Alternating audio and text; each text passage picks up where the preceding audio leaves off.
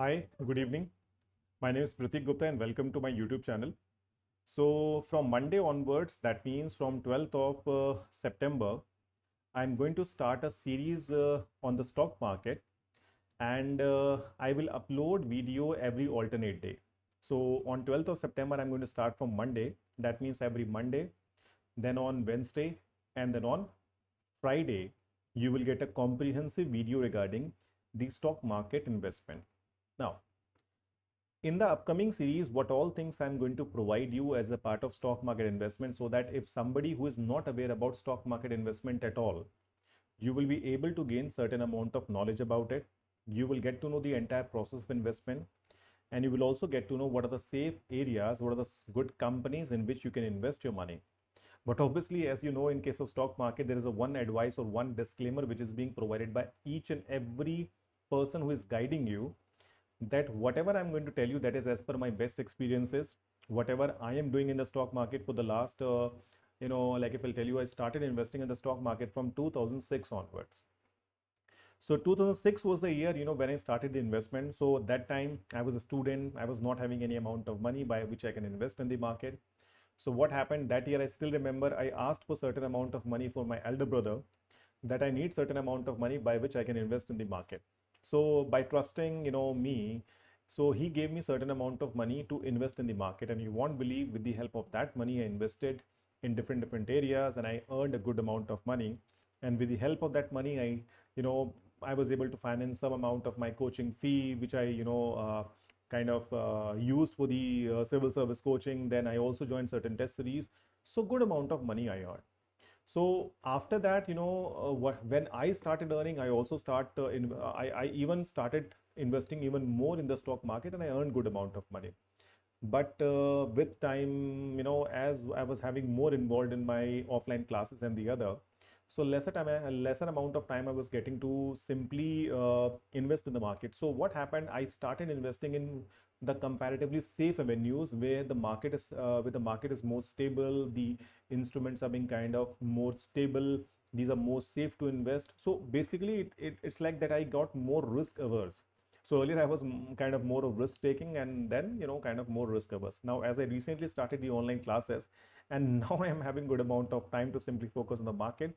So i thought why not? I should share my experiences also of stock market with you so that if somebody who is being trying to you know invest in the market and trying to earn certain amount of money so i will tell you certain amount of safe areas we can invest and how you will be able to earn certain amount of money in the market. So these series is basically going to for the beginner who was not aware about the market that how to invest and what are the things they required to simply go ahead that is what i'm going to tell you in this particular series. So basically the series of lecture which i'm going to provide one by one in this particular you know stock market series like I will start with my video on 12th of September with if somebody wants to invest in the market, then what documents you need. Okay, because you know this thing. If you want to invest in the stock market, you need to open up something called a demat account you need to open. The name or you can say the full form of this demat account is what? Dematerialization account you need to open with a stock market broking firm okay? Moreover you also need to open up a saving account if you want to invest in the market. So what documents are required what are the possible you know areas or companies you have where you can invest and what is the amount of money you need to pay as a fee what are the charges what are the broking charges and the other.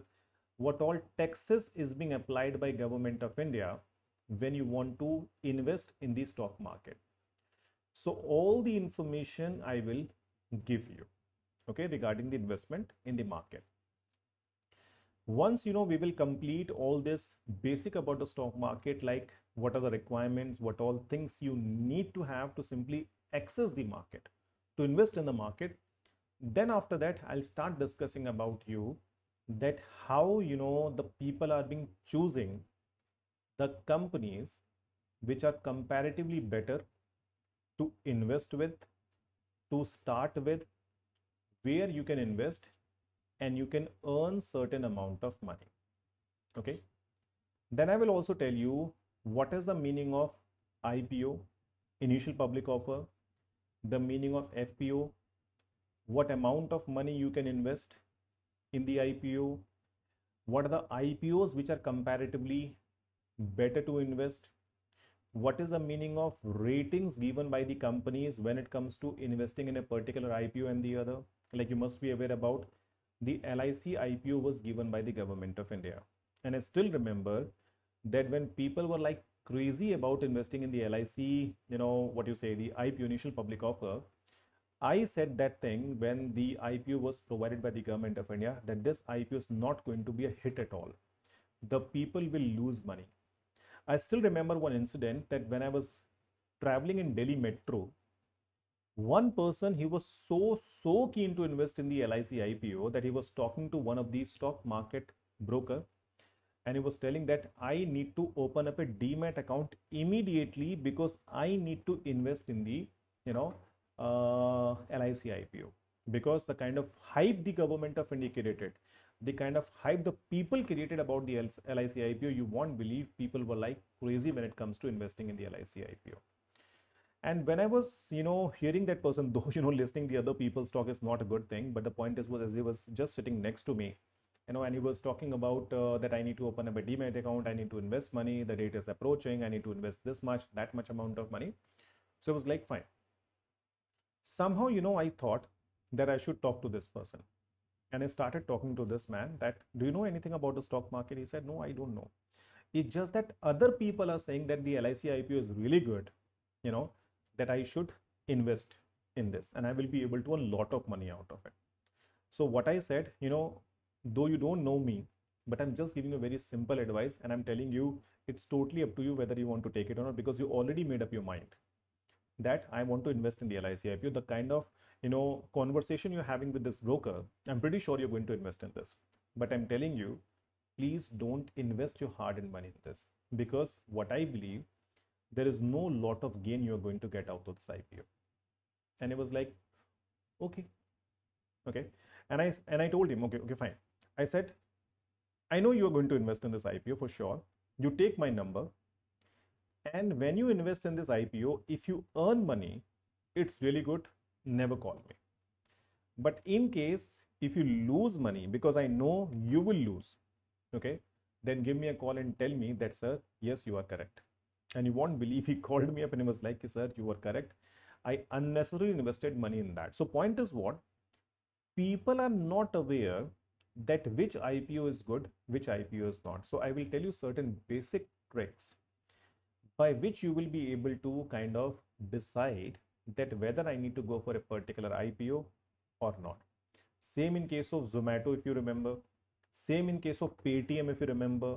Whatever these tech, you know, you know, these companies, you can say food delivery app and, and the other companies who provided the this IPO in the market, the people didn't money out of that. Okay, they in fact lose money. They in fact lost their hard-earned money. So we'll tell you also the basic about that. What are the things that you need to focus before deciding that whether you need to go for a particular IPO or not. Okay. After discussing, you know, this particular thing about the IPO and the other, then I will tell you what are the sectors which are comparatively more safe from investment point of view. Because see there are certain sectors like uh, like you have so many sectors in the country like banking insurance steel cement aluminium insurance so many sectors we have. Though every sector is having good companies in which you can invest and you can earn money out of that. But yes there are certain sectors which are called comparatively safe all the time. And moreover when you invest in these sectors there is a more chance that you will earn money out of that. So we'll tell you those sectors which are being kind of more better. Once we will have a complete discussion about the stock market investment and the other, that how you can invest, what are the sectors which are being better than the other, then I will start telling you about the various instrument in the market which are being really, really big hit in case of our country. For example, mutual funds you know a lot of people lot of people are being getting huge amount of money by only endorsing mutual fund. You remember Mahendra Singh Dhoni sir he's been coming in a ad called mutual fund sahi hai. You must be knowing about Sachin Tendulkar. He's also but mutual fund sahi hai. But are they really correct or not? That you need to know. How these people invest how they choose the sectors what are the you know things that you need to keep in mind when you go for a mutual fund investment and the other that i will tell you. Okay the different categories of mutual funds which we have in the market i'll tell you which is supposed to be choose by which person at which age you know that if you're more risk taking which mutual fund is better. If you're being kind of more risk averse then which mutual fund you're supposed to be taking. If you're being kind of neutral then which mutual fund is comparatively better for you. Then i will also tell you about something called etfs exchange traded funds because that is also something which is being kind of little popular i would say in case of our stock market. Okay then those people who are having good amount of money with them okay then i will also tell you that they can also go for something called commodities market so we will also have a small discussion about a commodities market that how you can simply invest money and how you can simply earn money out of that but i'm telling you that is something which is being very risky and here you need good amount of money if you need to start investing here so about the commodities market like MCX, multi-commodity exchange, I will discuss about it. Okay.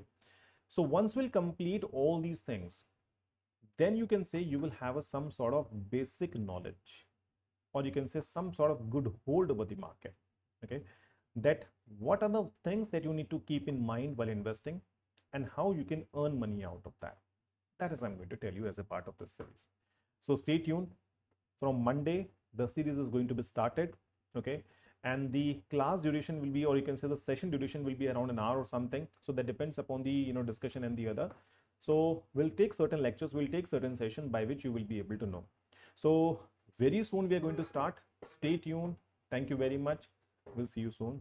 Bye bye and please be safe wear mask. And please subscribe to my youtube channel and if you want to learn economics from the civil service examination point of view then you can simply join my plus courses on Unacademy app so from 8th of September, I started a course for the prelims 2023-24 and I'm going to start a comprehensive course which is really, really important for the pre mains from 10th of October onwards. So please join my courses. Thank you very much. Take care and bye-bye.